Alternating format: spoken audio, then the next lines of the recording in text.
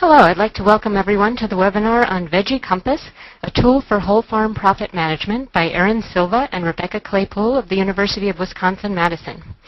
My name is Alice Formiga, and I'm the webinar coordinator for eOrganic. eOrganic is the organic agriculture community of practice with eExtension. We're a community of cooperative extension service personnel, researchers, ag professionals, organic certifiers, and practitioners. You can find all of our published articles, videos, and recorded webinars on our website at extension.org slash organic underscore production. Before we begin, I'd like to briefly introduce today's speakers.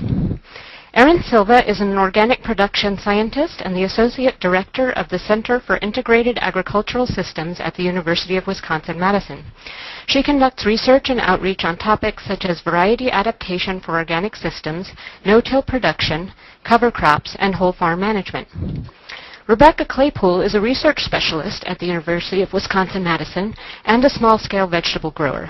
She received her master's degree from the University of Wisconsin-Madison in agroecology and studied cost of production for diversified fresh market vegetable growers through the development of the Veggie Compass tool. So now I'm going to hand over the screen controls to our first speaker, Erin Silva. Thank you, and good morning and afternoon to everybody. Uh, during today's webinar, Rebecca and I are going to discuss a whole farm management tool that we have been developing at the University of Wisconsin. The tool is called Veggie Compass and has been designed to help diversified vegetable growers with whole farm profit management. The first half of the talk, I'll be setting uh, down some general information as to the theory behind the tool and some of the thought process that goes behind it. And then during the second half of the presentation, Rebecca is going to get more into the nuts and bolts of the actual tool and how farmers have been using it on their own farms. Diversified vegetable growers, both organic and conventional, are faced with a particularly difficult situation with respect to how to best determine prices for their products that will lead to the development and maintenance of a profitable farming operation. Diversified vegetable farms are selling multiple products. Here in Wisconsin, it is not uncommon for these farms to be selling 20 to even 40 different vegetables, flowers, and herbs over the course of the season. In addition, the diversity of to the diversity of these products, these growers are often selling into multiple markets. These vegetable growers can market into CSAs, farmers markets, institutions such as hospitals and schools, restaurants, as well as to wholesale distributors. And each of these specific market channels, in each of these specific market channels, the range of prices can vary. For instance, depending on competition or what time of day it is, a grower may change what price they're asking for for a specific product at the market. Furthermore, the cost of transferring the products to the customer can vary per market channel. For instance, transfer costs to the consumer might be less for a CSA, where the CSA customers come to the farm to pick up the produce, versus bringing the produce to a distant farmer's market, into an urban center, or to uh, an institution that might be quite a distance from the farm. This variation creates a great difficulty for a farmer to be able to assess which crops are profitable, which markets are profitable, and even more specifically, does the profitability of a specific crop change depending on what market channel it's being sold into. So farmers adopt varying approaches to setting prices. Sometimes they can set prices based on competition. For instance, just taking a survey of what other CSAs in their area are charging for a share and kind of basing up and down depending on um, what their neighbors are pricing. More appropriately, maybe, growers are setting prices to a point which they're making a profit. But sometimes they're setting this profit-based price on more of an innate sense of what's being profitable versus any hard and fast numbers. Alternately, sometimes growers are basing prices on customers, and this is especially true at a farmer's market, where some vendors might choose to price low to have the customers move the product quickly for their stands, whereas other farmers market vendors might purposely set their price so that uh, it's high enough that that uh, flow might be consistent throughout the market and for instance, one farmer's market producer believes that if you don't have a percentage of your potential customers walk away from your table, then your price is too low. However, this pricing strategy is dangerous as it really doesn't reflect the cost of producing that product. All of these are based on either an innate sense or a sense of what your neighbors are pricing at, and we don't know if they're making a profit. Cost-based pricing is a method that better ensures that your products are being sold at a profit. Essentially, in this method, costs are determined for each crop to determine the minimum price that would be needed to um, would be needed to be gained in order to sell the product for a profit. Thus, to successfully implement this strategy, a diversified vegetable grower would need to know their costs of production for each crop that they are growing. And this can vary quite a bit. For instance, some crops, such as cabbages perhaps for instance. These are fairly easy to grow and to harvest. It's a, generally a, a one-time harvest. Uh, they are transplanted so they establish pretty quickly. Um, and they, these would cost significantly less to grow than a more intensive crop such as tomatoes that would need to be trellised and they would need to be harvested throughout the growing season. Complicating this further is the fact that diversified vegetable growers um, these for diversified vegetable growers, these calculations then vary depending on market channel. So the overall cost of production just in the field can vary, but also the cost of production in a sense can vary depending on the market channel because certain market channels have unique costs. For instance, uh, CSA can incur extra costs related to outreach to its members, um, costs that may be associated with printing and developing uh, newsletters perhaps, costs associated with other aspects related to marketing of the CSA, be it maybe field days, other promotional items, um, distribution boxes specific for the CSA. So even the marketing channel can change. And for instance, alternatively, a farmer's market channel could have additional transportation costs or perhaps costs associated with paying someone to be at that market stand on market day. So the budgets must include all these factors. Not only the cost of production, which includes both in-season production factors in the field as well as harvest, but also other transaction costs, which can include post-harvest handling, marketing, and other uh, market channel specific costs that are required to move the product from the farmer to the customer. So where are our costs during the production season? These costs can include various items. They can include um, inputs such as uh, seed for the crops that we're growing, fertility inputs, materials for starts, dressing materials. And these tend to be costs that are incurred at the beginning of the growing season before the production in the field actually begins in earnest. These tend to be a relatively small proportion of the total cost of production, however. Wages to employees um, actually cover a, a great bulk of the cost of producing the crop. So this can include office labor, record keepers, marketing people, etc., as well as field labor, the people that you're employing to go out and do the care of the crop through the production season, weeding, harvesting, trellising, etc. The relative amount of field labor apportioned to any one crop can vary. So this is not even across all our different crops that we're growing with on, on, on our farm. Uh, for instance, carrots on a particular system may eat up a lot more field labor than broccoli because carrots require so much weeding early in the season before those tops get established. Or related to our, our previous example, tomatoes can require quite a bit more labor than lettuce perhaps due to the time needed for trellising that crop and the extended period of harvest for those tomatoes. I can speak for at least here in Wisconsin that interest to lenders and land rent aren't as a significant cost for many growers as most of the growers own their land and are self-financed, but these could be costs that would be considered as well. And finally, a grower needs to consider their own income as well. You want to pay yourself a salary as well as to pay your employees a salary. So these items can be categorized as variable or fixed costs. And variable costs will incur basically if a crop is produced. So these variable crops would be things that we incur as a cost if we decide to produce a specific crop, such as seed, fuel needed to transplant or cultivate a specific crop, etc. We also can then look at fixed costs, which occur if production occurs or not. So this would be stuff like depreciation on existing tractors or building or the like, more infrastructure involved with the farm in general. I, I think I went one too far, Alice. I don't know if we can switch back.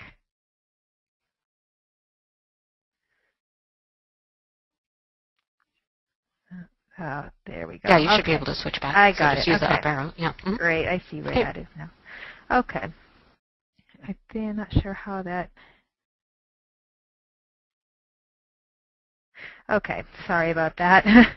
so essentially then, going back into this more academic discussion of costs, which I'll get beyond in a, in a minute here just to set the stage, our total costs are essentially a sum of the variable costs and the fixed costs. So essentially, to achieve cost-based accounting, we're looking for where we're looking for our break-even price. So this price is going to uh, this break-even price is going to occur when our revenue, the money coming into the operation, equals our total cost. And this establishes essentially a floor, a minimum price that needs to be obtained um, for that product to, at the very least, not to lose money for the farm to at least cover the cost of production, post-harvest, and marketing, as well as covering the fixed costs that are apportioned to that particular product. So, as we have been discussing, where are these farm expenses? Well, they lie in overhead costs, which tend to be fixed expenses, but not always, inputs such as seed, fertilizer, etc., labor, and again, this labor can include both field and office labor, and marketing.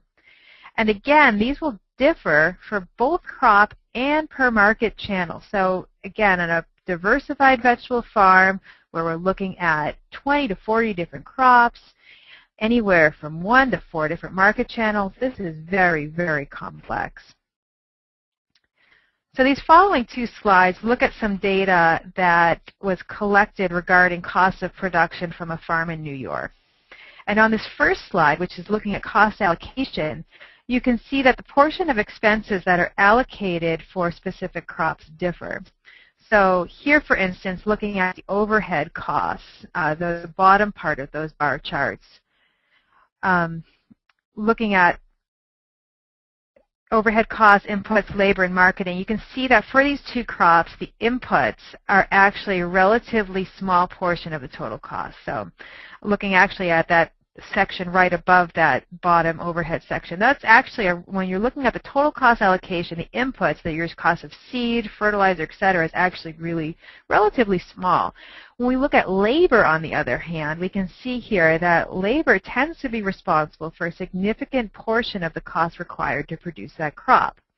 And you can also see, not only does this differ between the two crops shown here, but it also differs from year to year and this can be for various factors. Perhaps the, the weather caused conditions that made um, extra field work that year, um, maybe um, the skill of the crew, etc. So there is an, an, added layer of variation here. Um, sorry, but I'm not sure my mouse is being extra sensitive, I apologize. Um, on the next slide, looking at labor allocation, um, we're looking from that same farm from a study in New York by Stoner in 2005. You can see here that field preparation and cleanup accounts for a relatively small portion of the labor required to produce that crop. And conversely, harvesting and packing take a great deal of the overall labor requirement. And again, this tends to be true across the board for all crops and all farms. So not only is it important to consider your labor needs for in-field, but considering your labor needs for harvesting and packing is, is really essential. So as perhaps is evident at this point in the talk, in order to be successful with cost-based pricing, good record keeping is essential.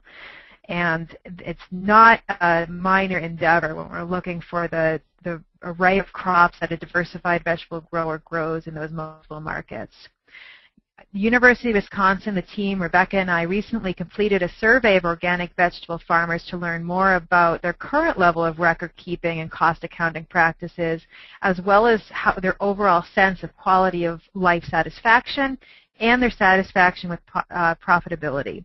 And we're still analyzing this data but one of the early conclusions that have come back from this, this survey is that the farms that are satisfied with their current record-keeping system are significantly more satisfied or ranking themselves as very satisfied with their profitability. So it seems that record keeping is linked with the subset of growers that we surveyed, which was all the organic vegetable farmers across Wisconsin, that good record keeping was linked to satisfaction with profitability. So in order to assist farmers with the level of record keeping needed to be successful with cost-based pricing, UW embarked upon the creation of this tool, Veggie Compass. This project started, hard to believe for us now, about six years ago with Jim Munsch. And Jim is an organic beef farmer from Wisconsin. And although an organic beef farmer, he had been working with a, a large uh, organic vegetable grower in Wisconsin to develop a sheet to assist with determining the cost of production for specific crops and specific market channels. This grower um, that he'd been working with was very savvy in terms of business planning and was concerned that he was losing money in specific crops and certain marketing channels. And Jim, having an accounting background, they were a great team with the business savvy and the accounting skills to develop this spreadsheet. The spreadsheet, however, although the farmer that helped develop it had great results, was unwieldy and not really user-friendly. There were cells that needed to be locked. It was um, a very, to try to get output on it was um, uh, quite hard to visually look at. So Jim came to UW for assistance to make this spreadsheet more user-friendly. So from there, UW started a partnership with Jim, myself as an organic scientist, uh, Paul Mitchell, who's an ag economist here at UW, John Hendrickson, who's an outreach specialist working with diversified vegetable farms. We brought Rebecca onto the project as a master's student, and we began to discuss with a committee of farmers their limitations to farm business planning and incorporate their suggestions as to how to improve the spreadsheet. So this was very farmer-driven, very farmer-based. One thing that became clear early on was that we needed to develop a system for growers to better compile their labor, sales, and yield data throughout the season. Some of the um, fixed costs that Rebecca will go through were easy for the farmers to get from tax forms, from invoices, etc., but they didn't really have a good method to look specifically at collecting labor and yield data as well as sometimes sales data for specific crops and specific market channels. So in 2008, we developed two kinds of labor forms that Rebecca will show to help growers track their labor costs for various crops throughout the season. From 2009 to 2012, the project team gathered farm labor data forms from 10 farms with funds provided from the USDA Risk Management Agency as well as the Ceres Trust. And this helped the team identify roadblocks and issues with the collect with the collection of this data to the level that was needed to successfully use the spreadsheet. And during this time as well, we had worked with two farms that undertook the task of extensively beta testing the Veggie Compass system. So they collected data, they fed data into the spreadsheet to obtain results, and then we were able to discuss with them the analysis of those results during this time, we've also developed a website that houses a free download of Veggie Compass. So www.veggiecompass.com. And I have to admit, we are doing some overhauling of the spreadsheet as well as some rehousing of the spreadsheet. We're moving servers. So it doesn't work out great with the time of this uh, webinar, but this is the URL. There is a, um, a link where you can download this Excel-based program onto your computer for free. But um, if, if the site isn't active right now, it should be online in the next couple of weeks, and we'll have our contact information at the end. Um, but the, there is a, the website will also house some materials that will help you walk through the use of the spreadsheet. So with there, Alice, I'm going to hand it over to Rebecca to talk more about the details of using the spreadsheet um, so I can pass control on to her. Um, what is Compass? And Erin has kind of gone over some of it, but I'll just give a little bit of an overview. It is a financial spreadsheet, and it's intended for diversified fresh market vegetable growers. Um, organizes all of your sales and cost data, and it generates your cost of production for each crop and the profitability of each market channel. As Erin mentioned, it's an Excel spreadsheet, um, so it's Excel-based. We wanted to do that so that it was accessible to many people. The goals of the spreadsheet are for individuals, farmers, to better understand their cost of production so they can improve their overall farm management and planning. And this places them in a better position to make um, decisions that strengthen their risk management capabilities. So the spreadsheet is organized in three input pages and then three output pages. Um, the three input pages, the first page is where you'll put all of your expenses. The second page, all of your sales are entered. And then the third page, you put in your labor. The output pages then show your cost of production by crop, your sales by crop, and your profit and loss by market, profit and loss by market channel.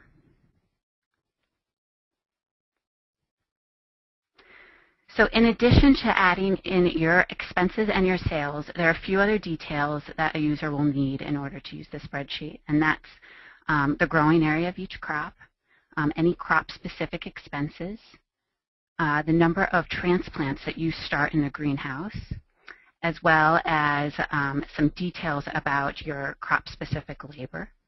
And as a result, the spreadsheet will tell you your cost of a crop up to harvest, as well as the cost of a crop through harvest and packing. You'll find out how much um, a crop costs, so it's cost per pound or per unit. You'll get break-even prices for each market channel and each crop within those market channels, your total labor costs of each crop, and then your gross margin by market channel. So Erin mentioned that we've been working with a bunch of farms in order to, to gather this labor data. When we were interviewing um, and meeting with farms early on in this project, that seemed to be the area where growers were most stuck in order in, in getting gathering the information needed for the spreadsheet. And so we created two types of forms you can see here, um, a long form, which is the full-paged one, and then the short form, which is the smaller one. They both capture the same information but just in different ways. The long form is intended to be used by each person on your farm, and you fill out one sheet each day. So that's this form here. So you'd fill in your name, your date, and then you'll end up filling out this form. Whereas the, the short form is intended to be used on an activity basis. So you may fill out one to two of these forms a day or 22 to 40, just depending on how many times you're changing activities. So for both of them, you, you just enter in your farm name at the top and the date. And then we've divided up your, your labor in a few different categories.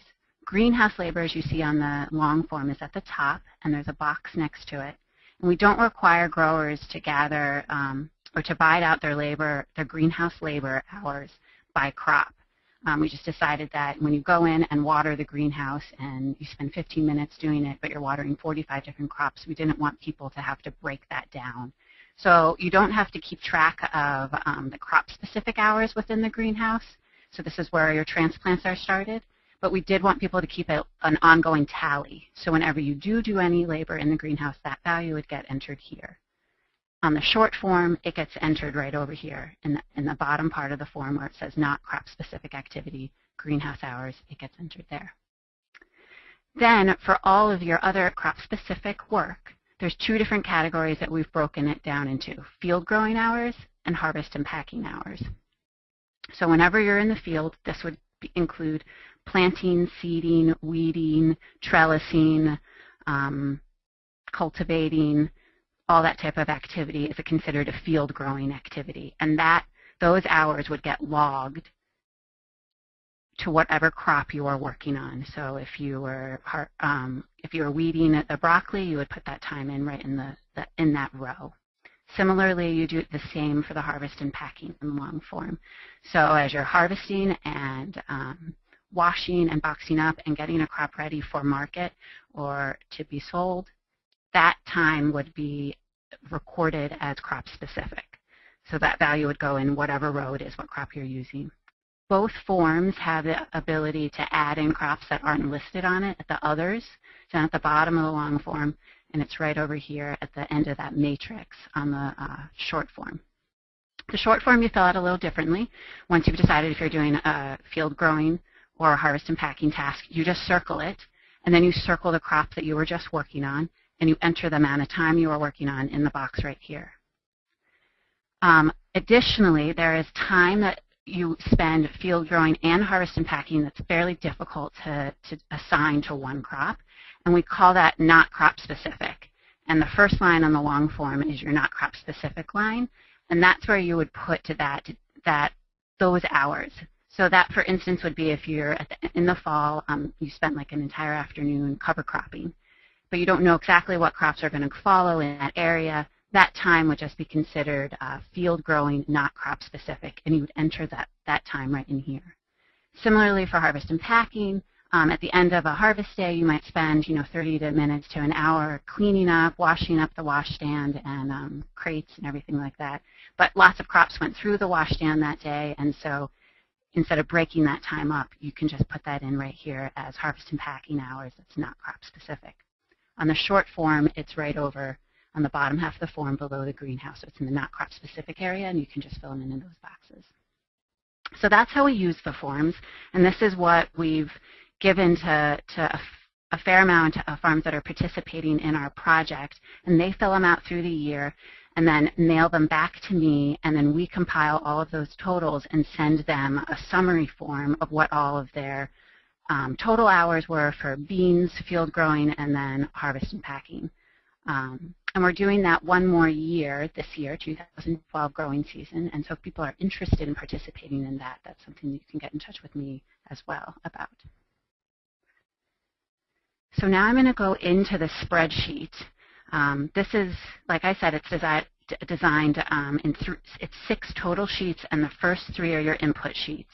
You can see down in the tabs at the bottom that the first three is step one, step two, and step three. And um, these are just screenshots, so I can't scroll around in them, but you can get an idea of what it looks like.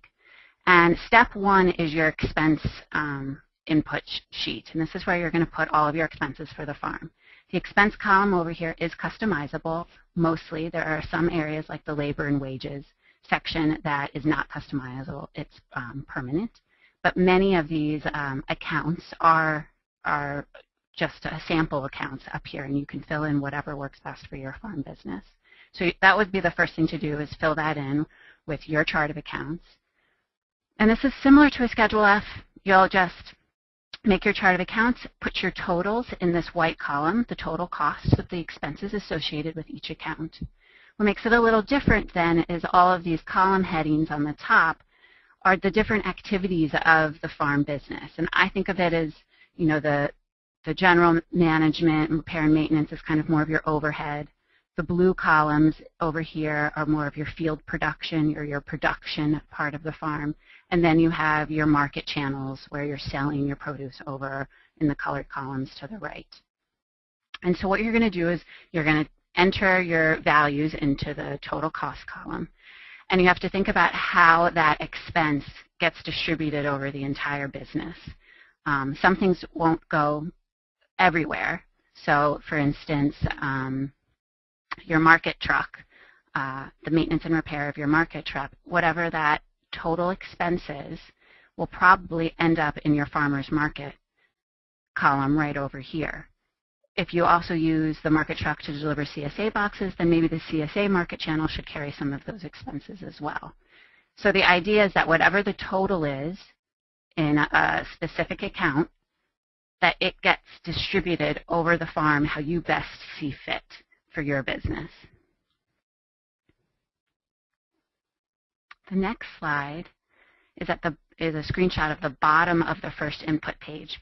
And the last thing that you have to do after you've distributed all your expenses over the farm is to think about this one column right here, the repair and maintenance of buildings and machines. The spreadsheet requires that that gets then allocated over the business once again. Um, and you can do that just by typing in the percentage um, that you want the other parts of the farm to carry that total value. So in those, those blue numbers are all you have to put in the percentage. So when I think about this, it's if you know you had um, a big tractor repair that year and you use that tractor in the field, then field growing potentially would be where you would want to, to house most of that value. And right now it's at 70% as an example. So that's your first page for the, uh, the, the spreadsheet. And all of this data is pretty straightforward where it can come from receipts and invoices and checkbooks and bank statements or other um, accounting systems that you have, such as QuickBooks. The next input sheet is your uh, sales input sheet. So this is where you'll pick your crop, and then you'll pick the unit associated with that crop and that will automatically populate the other um, sheets of the spreadsheet. So once you do it here, you won't have to do it again. Um, and the market channels that you have chosen on the first page will also flow over, except CSA is, is permanent. That one doesn't change. So if you don't do CSA, you can just leave these areas blank. Um, and right away, I'm just going to slip, go to the next slide, because if you scroll over to the right, there's this yellow income box. And the first thing I would do after you pick all of your crops and the unit associated with that crop, um, whether it's pounds or bunches, then you're going to go over to this yellow box and put in um, the, your total income for the items marked in red. So whether that's CSA, buy resale, and any other income. Then you can go back to your actual market channels and enter in how much you sold of each crop and the total units you sold of each crop within each market channel. On the website, we have some um, weekly sales sheets that help keep track of this throughout the growing season so that you don't have to um, scramble so much at the end of the season that you can be using these sheets throughout and then just add up how, however many sheets you needed, whether your growing season is 24 or 25 weeks. Um, add those values up in order to get the information to this so it helps people stay on track for using the spreadsheet. Um, the next slide is going to be your the last input sheet, which is this is where the labor comes into into account. Um, so your crop and your unit of measure will automatically overflow, and then first thing I would do is put in your seed costs associated with each crop. And if it's a crop that you transplant, you'll want to put in the number of transplants that you started in the greenhouse. Once you've done that, then you'll have to enter in how much of each uh, crops grow. And this can be recorded, as you can see in the little pull-down menu, in acres, row feet, or square feet. But once you've chosen it once, that's how you'll have to measure all the crops that you're, you're growing and tracking on your farm. Then if you go to the field growing and harvest and packing columns, this is where you'll enter those totals from those labor forms that I showed, showed earlier. So in the field growing column, you would add in right in this column all of your total field growing hours for each crop, and same here, right over here with the harvest and packing. Additionally, on this page, we've allowed people to enter specific field growing expenses associated with crops. So this is a non-labor expense, and it's something like if you're growing tomatoes and you use tomato cages that you purchase, you could put that expense right on the tomato line. That's a field growing non-labor crop-specific expense. And that way it has that crop reflects more accurately the field growing costs associated with it. We also do this for the harvest and packing.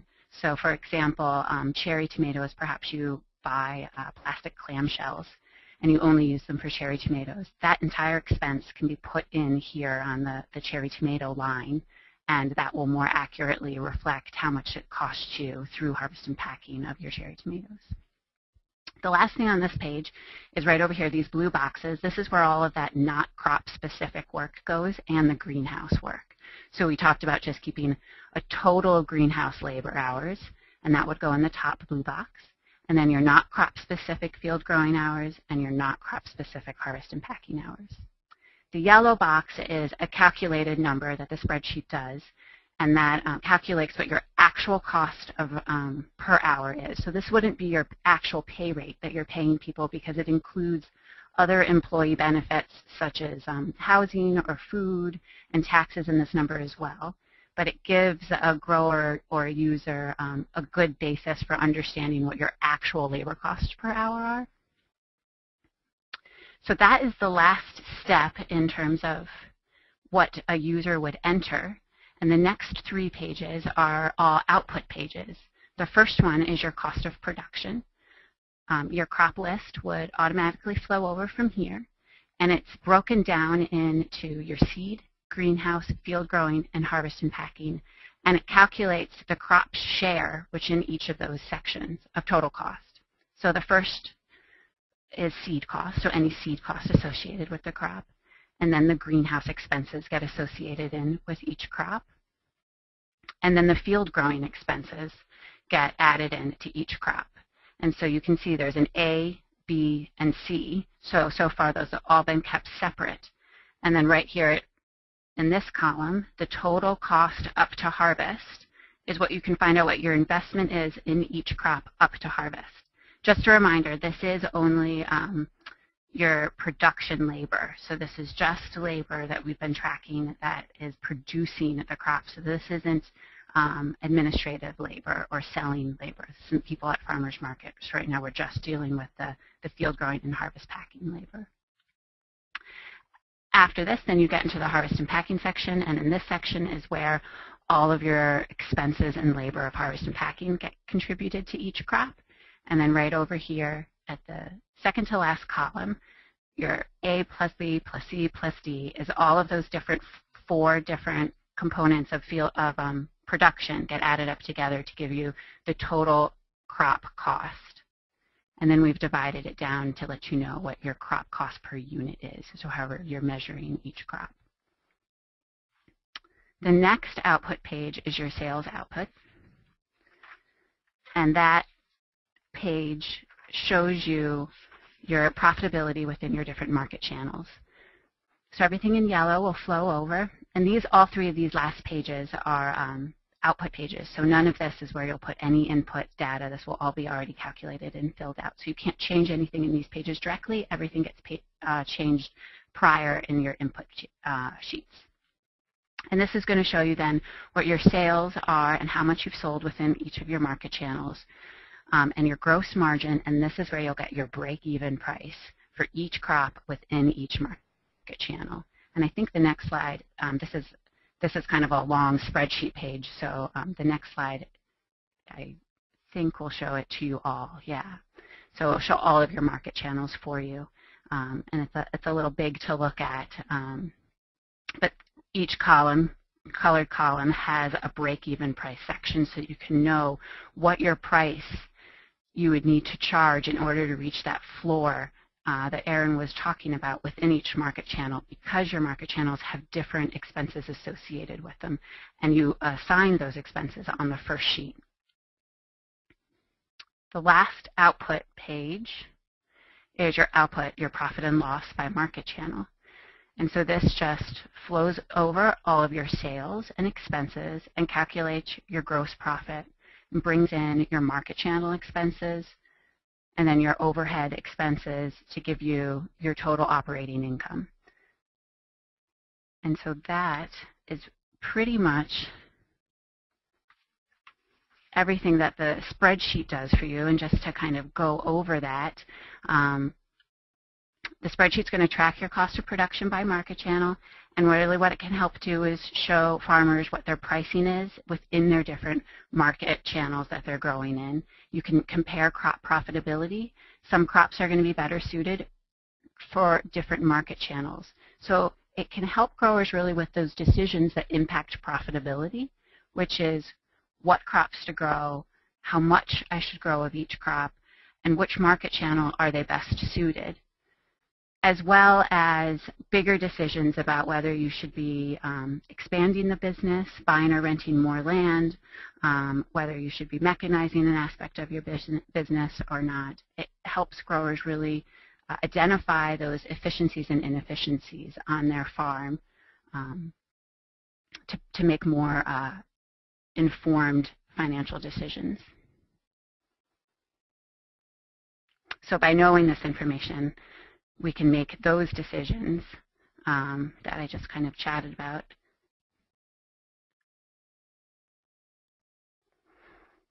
So the main take-home message is that Veggie Compass is a tool that provides diversified vegetable farms with the knowledge to perform cost-based pricing. So this will tell you what your true cost, your actual costs are in order to set prices that will help you achieve a profit.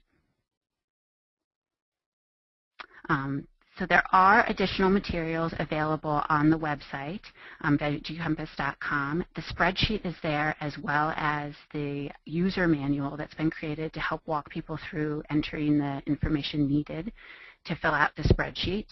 There's also the labor forms that I showed there that are available, as well as some management forms, and this is just an example of a weekly sales report that I mentioned. There's also a CSA box chart, as well as a farmer's market chart to help growers track their sales throughout the season. And I think that is everything.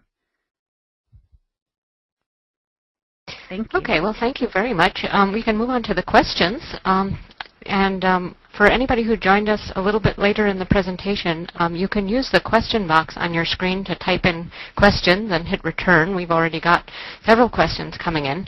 Um, if you don't see the question box, you can just click the small plus sign next to the word question to open it up. Um, before we start, which we will do in a very short time, I just wanted to let everybody know that this webinar is being recorded and it will be posted to the eXtension website under upcoming and archived webinars.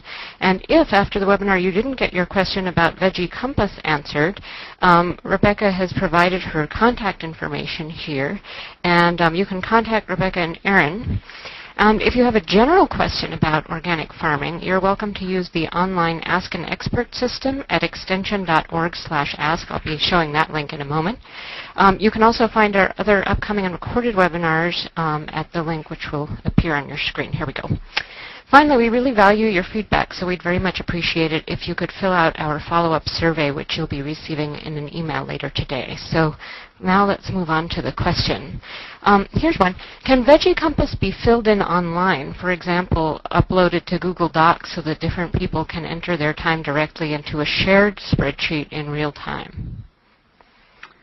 Uh, currently, that's not how it's set up. It's set up as an Excel spreadsheet that you download. But um, I was just emailing with someone, and, and looking into the Google Docs is something that I think I'll look into to see if there's a way to, to make it work that way. But currently, no. Okay. Um, can I recommend to my students that they use this instead of purchasing QuickBooks to track business enterprises? I think that the spreadsheet works well in combination with QuickBooks. I think there's a lot of things that QuickBooks can do that the spreadsheet can't do. Um, I would say if it's a someone who's just starting out on a business venture and maybe doesn't want to put down um, the investment in QuickBooks, and it also takes a little bit of time to figure out how to use it appropriately, that this could be a starting place, but I wouldn't necessarily see it as a substitution. Okay. Um, you may have already answered this question a little bit later in the presentation, but there are a couple questions about, you know, how to record time spent seeding different crops in the greenhouse. Um, for example, um, this person spends lots of time seeding onions versus lettuce, so um, this time can be factored individually by crop, right? Um, is this greenhouse that's starting for transplants? Let's see. Or is it a house?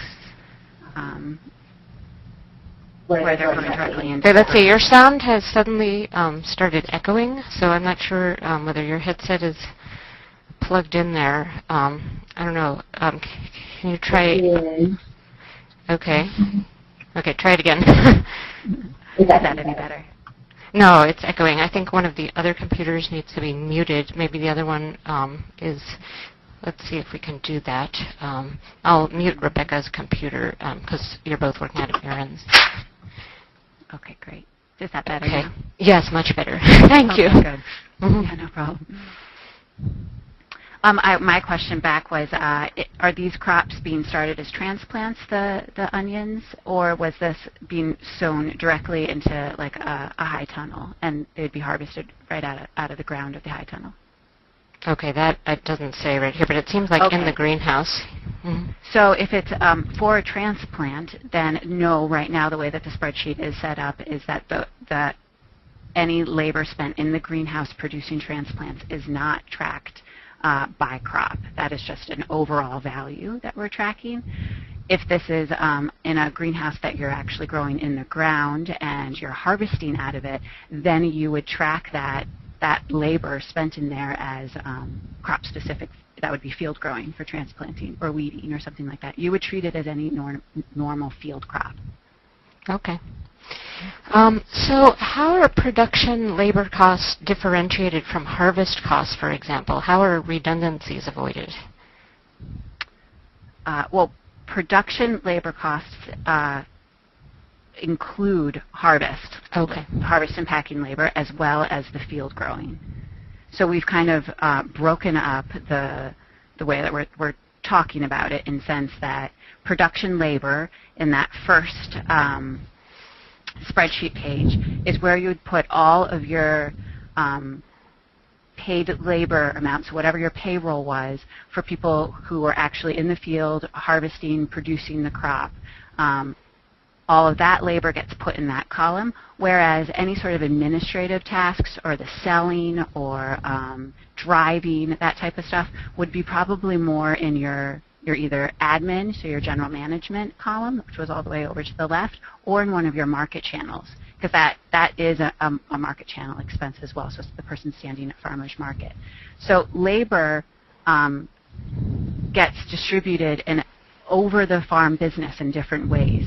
But production labor is what we consider everything that is more field driven in terms of actually producing that crop. So those activities that you associate with greenhouse, field growing, and harvest and packing. Okay. Um, for new farmers that do not actually have an idea of their actual costs, do you have some industry average costs so that um, people could estimate some margin?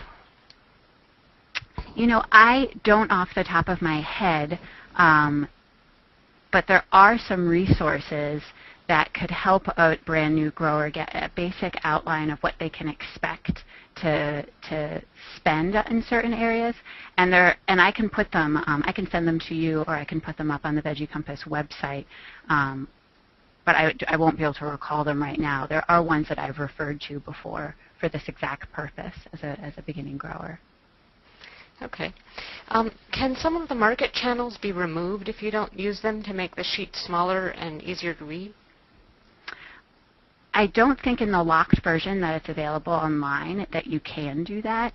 I think you would just have to ignore them because of the limitations with Excel. Um, but if you can hide cells, even when it's locked, I would go ahead and hide those columns that you don't need to be looking at. But it's possible um, that within the locked state that it's in, when it's available to other people, that it's it's that you can't do that. Okay. Um, some small farms don't have a greenhouse and pay for others to start seeds for them. So where would you account for this in Veggie Compass?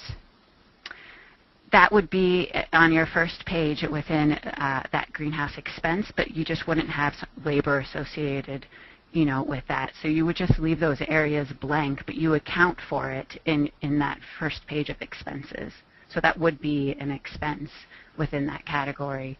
Um, it just wouldn't necessarily be as high as people who are also uh, potentially paying someone else. It would you would have to see how that you know obviously figures out if it makes more sense for you to, to pay someone to do it or to uh, to do it yourself. Okay. Um, is it possible to access the data anywhere that your team has accumulated from the various farms over the years for labor planning, budgeting, et cetera? Well, the, the data that we have collected has been the labor hour totals. And uh, currently we're still collecting that. We're getting in the 2011 um, season data entered. And so it's not all up yet. But once we've completed our labor data collection effort, um, we'll have that available in a publication and we'll probably post it to the website as well. But currently it's, it's still in the compilation state.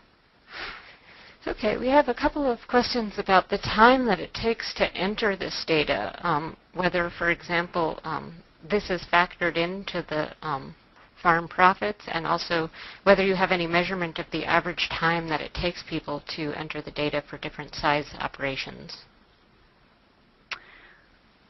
I don't know exactly how much time the farms that have been using the spreadsheet are, are spending on filling out the spreadsheet.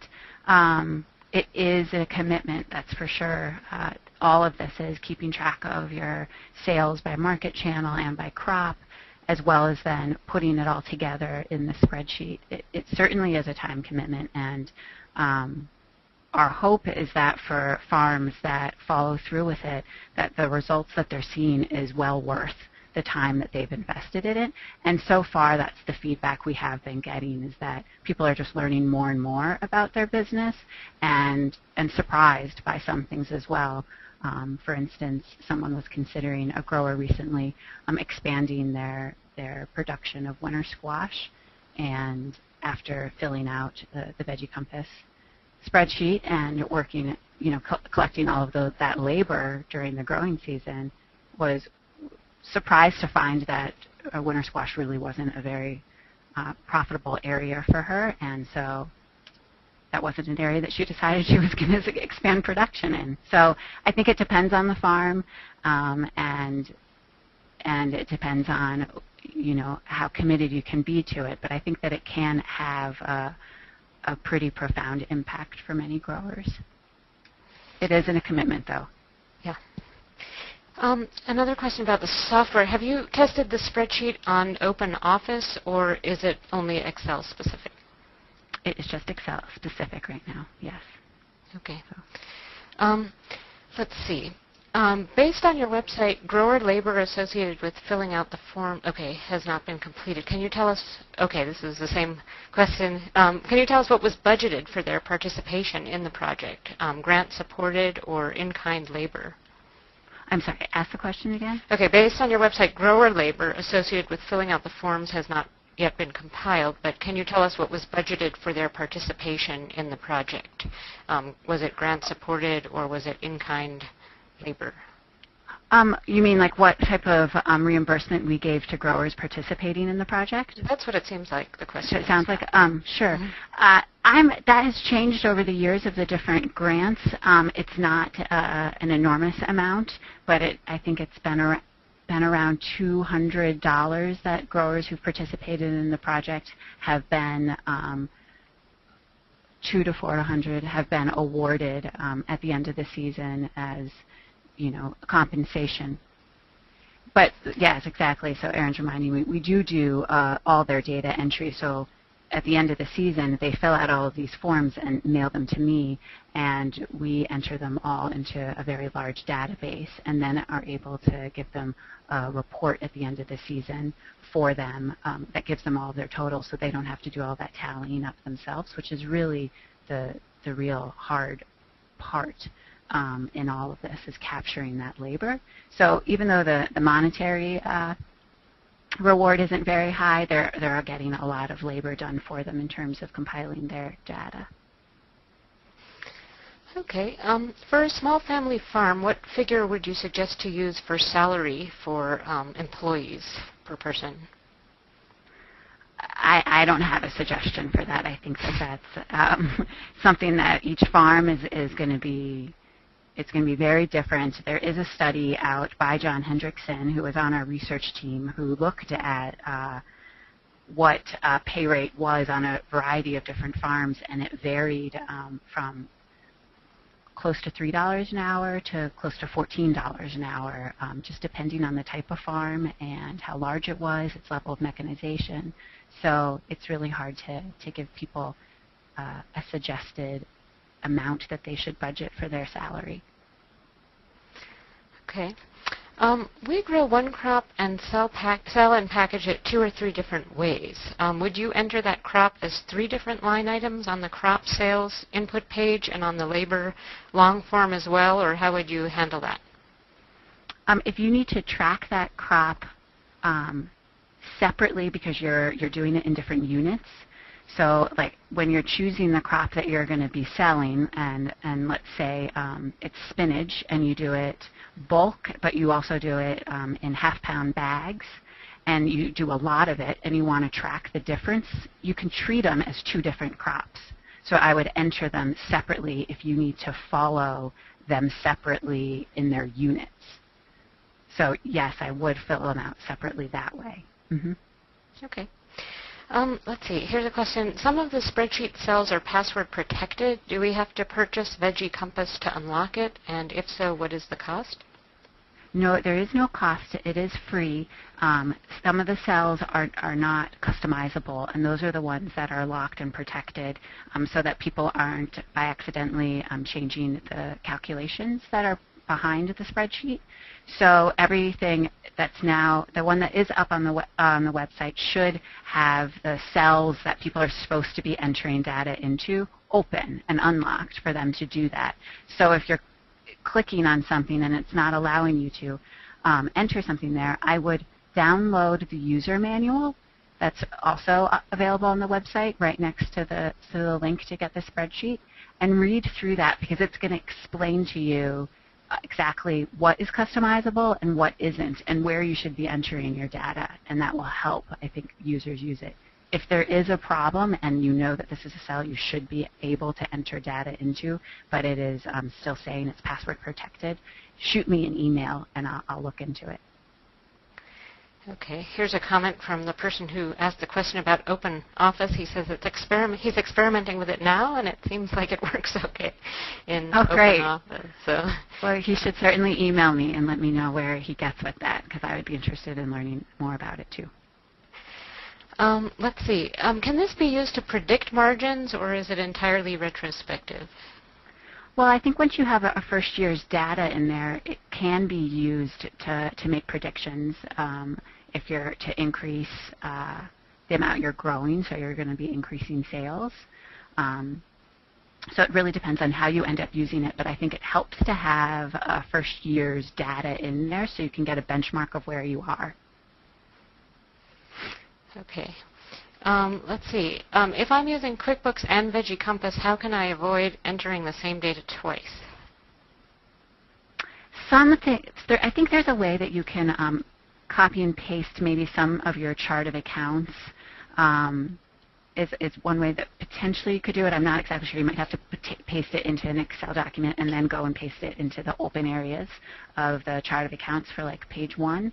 Um, but I don't think there is any easy way in terms of exporting your QuickBooks data directly over into the to the Excel Veggie Compass spreadsheet. It is something that you would just have to re-enter.